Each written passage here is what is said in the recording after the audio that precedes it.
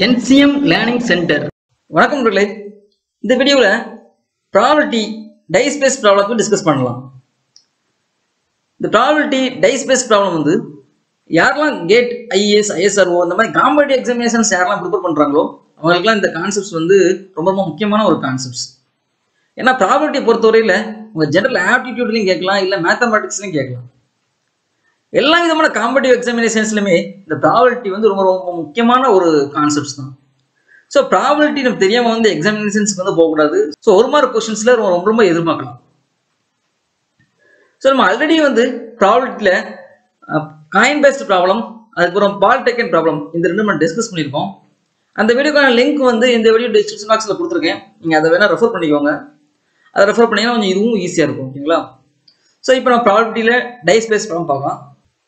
Probability அப்படின்னா என்ன அப்படின்னா டெஃபினிஷன் பார்த்தீங்கன்னா ratio of total number of possible required to the total number of possible in an event அப்போ probability பொறுத்தவரை நம்மளோட அப்ஜெக்டிவ் பார்த்தீங்க அப்படின்னா ஃபர்ஸ்ட் வந்து total number of possible in an event என்ன அப்படின்னு சொல்லி நமக்கு கண்டுபிடிக்க தெரியணும் ரெண்டாவது total number of possible required so first நம்ம வந்து total number of possible in event கண்டுபிடிப்போம்.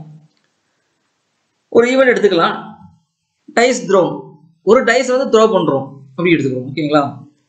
இப்போ இந்த total number of possible event கண்டுபிடிக்கிறதுக்கு ரெண்டு விதமான அப்ரோச்சஸ் இருக்கு. ஒன்று கான்செப்ட் அப்ரோச் இன்னொன்று ஃபார்முலா பேஸ்ட் அப்ரோச் ஃபர்ஸ்ட் நம்ம கான்செப்ட் அப்ரோச்சை டிஸ்கஸ் பண்ணலாம். அதுக்கப்புறம் வந்து ஃபார்முலா அப்ரோச் போகலாம் கான்செப்ட் அப்ரோச் படி நம்ம ஆல்ரெடி டைஸ் வந்து நம்ம பார்த்துருப்போம்.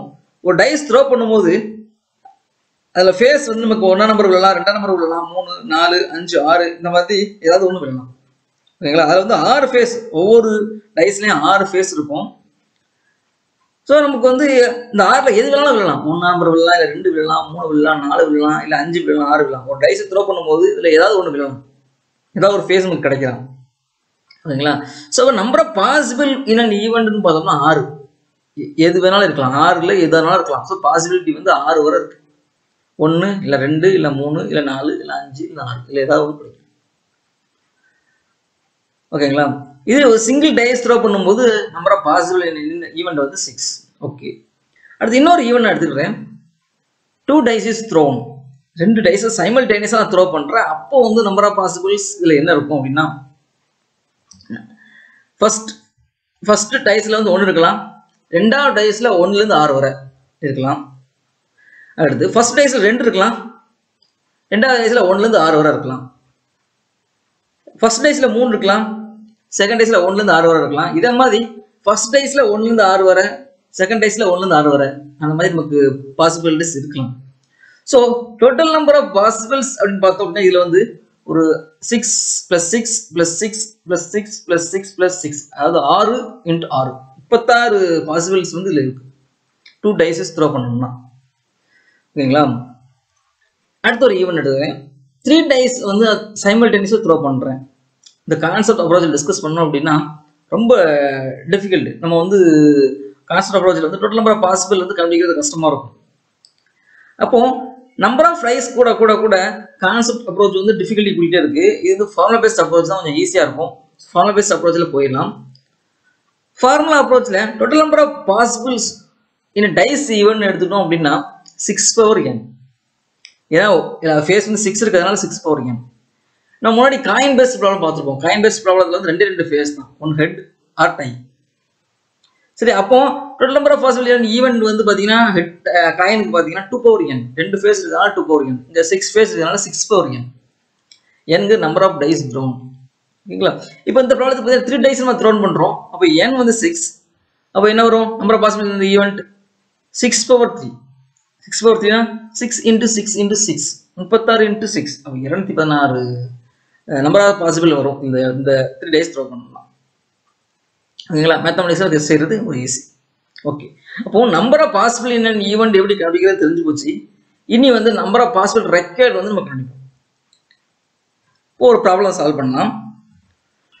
ஸோ இந்த கொஷினை பார்த்தோம்னா இந்த கொஷின் என்ன சொல்கிறாங்கன்னா டூ டைஸ் த்ரோ சைமல்டேனியஸாக த்ரோ பண்ணுறோம் ரெக்குவயர்மெண்ட் என்ன அப்படின்னா sum of the digit on both faces வந்து எட்டு இருக்கணும்.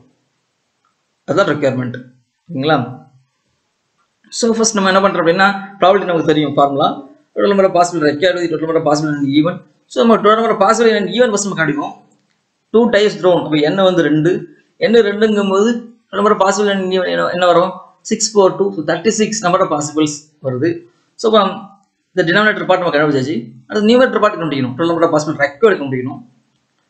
இந்த டைஸை பொறுத்தவரையில் டோட்டல் நம்பர் ஆஃப் பாசிபிள் கண்டுபிடிக்கும் போது இந்த ஸ்பேஸ் சாம்பிள் ஸ்பேஸ் என்ன இருக்குங்கிறது கொஞ்சம் தெரிஞ்சிட்டோம்னா ஈஸி ரெண்டு ரெண்டு டைஸ் வந்து சைமிளியஸாக த்ரோ பண்ணுறோம் இப்போ ஒன்றாவது டைஸில் ஒன்றுன்னு வச்சுருவோம் ஃபஸ்ட் டைஸில் ஒன்றுன்னு வச்சுருவோம் ரெண்டாவது டைஸில் ஒன்றுலேருந்து ஆறு வரை வரலாம்.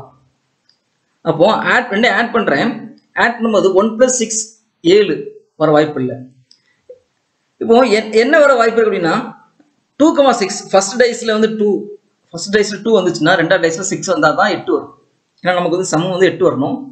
ஸோ ஃபர்ஸ்ட் டைஸில் ஒன்று வந்துச்சுன்னா செகண்ட் டைஸில் என்ன வேல்யூ இருந்தாலும் சம் எயிட் வராது ஏன்னா அதோட மேக்ஸிமே சிக்ஸ் தான் செகண்ட் டைஸில் இப்போ ஒன்றுக்குமா சிக்ஸ் வந்தாலுமே ஏழு தான் வரப்போகுது ஸோ ஃபர்ஸ்ட் டைஸில் ஒன்று வந்தால் வர முடியாது ஃபர்ஸ்ட் டைஸில் ரெண்டு வந்துச்சுன்னா செகண்ட் டைஸில் ஆறு இருந்ததுன்னா கண்டிப்பாக சம் வந்து எட்டாயிரம் ஓகே ஃபர்ஸ்ட் டைஸில் மூணு இருந்ததுன்னா செகண்ட் டைஸில் அஞ்சு இருந்ததுன்னா எட்டாயிரம் சம் வந்து அடுத்து ஃபர்ஸ்ட் டைஸில் நாலு இருந்ததுன்னா செகண்ட் டேஸில் நாலு இருந்தால் மட்டும் தான் சம் எட்டாகும் அடுத்து ஃபர்ஸ்ட் டைஸ்ல அஞ்சு இருந்ததுன்னா செகண்ட் டேஸில் மூணு இருந்தால் எட்டாயிரம் அடுத்து ஃபர்ஸ்ட் டேஸில் சிக்ஸ் இருந்ததுன்னா செகண்ட் டேஸில் டூ இருந்ததுன்னா ஆகிடும் சம் வந்து எட்டாயிரம் இந்த இந்த இவ்வளோ மட்டும் தான் ரெக்யர்மெண்ட் இதுக்கு இதுக்கு மேலே இதுக்கு மேலே என்ன பாசிபிலிட்டிஸுமே இல்லை இதில் வரப்போகிறது இல்லை. சரிங்களா? சம் வந்து எட்டு வரணும் அப்படின்னா இது தாண்டி வேறு எதுவுமே வராது. ஸோ அப்போ ரெக்கார்டு நம்பர் பார்த்தீங்கன்னா நம்பர் ஆஃப் ரெக்கார்டு பார்த்தீங்கன்னா இதில் ஒன்று ரெண்டு மூணு நாலு அஞ்சு. மொத்தம் முப்பத்தாறு சாம்பிளில் அஞ்சு தான் ரெக்கார்டு ஸோ அப்போ ப்ராபிலிட்டி பார்த்தீங்கன்னா ரெக்கார்டு வந்து அஞ்சு பாசிபிலிட்டி வந்து thirty six so five by thirty சிக்ஸ்ங்கிறது தான் ஆன்சர்ஸ் ஓகேங்களா? ஓகே அடுத்து டூ இட் யுவர் செல்ஃப் நான் ஒரு கொஷின் லிஸ்ட் பண்ணுறேன் நீங்கள் சால்வ் பண்ணுங்கள் ஃபஸ்ட் கொஸ்டின் பார்த்தீங்கன்னா ஆன்சர் கேட்ட கொஸ்டின்ஸ் ரெண்டா கொஸ்டின்ஸ் கேட் எக்ஸாமினேஷன்ஸ் கேட்ட கொஸ்டின் தேர்ட் பார்த்தீங்கன்னா கேட் கொஸ்டின் செவன்டீன் இசி டிபார்ட்மெண்ட்டில் கேட்ட கொஸ்டின்ஸ் ஸோ மூணே சால்வ் பண்ணுங்க. சால்வ் பண்ணி உங்களுடைய ஆன்சர் கமெண்ட் பண்ணுங்க. என்னுடைய ஆன்சர்ஸ் பார்த்தீங்க அப்படின்னா ஃபர்ஸ்ட் கொஸ்டின் ஆன்சர் வந்து ஆப்ஷன் சி கரெக்ட் ரெண்டாவது question option A third question answer வந்து zero point zero two eight இந்த மாதிரி ஆன்சர் உங்களுக்கு கிடைக்கான்னு பாருங்க. இதில் உங்களுக்கு ஒரு மிஸ் மேட்ச் ஆன்சர்ஸ் வந்து உங்களுக்கு கரெக்டாக கிடைக்கல மிஸ் மேட்சாக இருக்குது அப்படின்னு நினச்சிங்க நினச்சிங்கன்னா. இல்லை எனக்கு இந்த டவுட்ஸ் கிளாரிஃபிகேஷன் இல்லை இந்த டிஸ்கஷனில் வந்து கிளாரிஃபிகேஷன் இல்லை டவுட்ஸ் இருக்குது அப்படின்னு நினச்சிங்கன்னா நம்ம என்சிஎம் லேர்னிங் சென்டரில் வாட்ஸ்அப் குரூப் அதை போஸ்ட் பண்ணுங்க. W W W dot NCM learning centre dot com இந்த வெப்சைட்ஸ்லேயே பார்த்தீங்கன்னா உங்கள் எக்ஸாமுக்கு தேவையான காம்பட் எக்ஸாமினேஷன் தேவையான மெட்டீரியல்ஸ் வந்து அப்டேட் பண்ணிகிட்டே இருக்கும். கோத்ரூ பண்ணுங்க. நீங்கள் நினைக்கிற மெட்டீரியல் அதில் இல்லைன்னு நினச்சி நீங்கள் ஃபீல் பண்ண வேண்டாம். அது உங்கள் நினைக்கிற மெட்டீரியல் குயிக்கவே உங்களுக்கு கிடைக்கும். ஓகேங்களா ஸோ வாட்ச் பண்ணுங்கள் காமெடி எக்ஸாமினேஷன்ஸ் ப்ரிப்பேர் பண்ணுவாங்க. அந்த வெப்சைட்ஸே வாட்ச் பண்ணுங்க. டெஃபினட்டாக உங்களால் ஒரு நல்ல ஸ்கோர் எடுக்க முடியும். கண்டிப்பாக வாட்ச் பண்ணுங்க. நல்ல ஸ்கோர் எடுங்க. Good thank you thanks for வாட்சிங் click the subscribe button and hit the bell icon for notification. Like comment and share.